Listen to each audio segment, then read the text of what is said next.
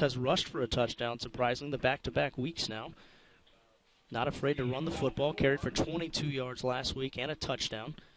Week before had over 50 yards rushing and two touchdowns. Wants to pass here to the corner. He's got a man in double coverage.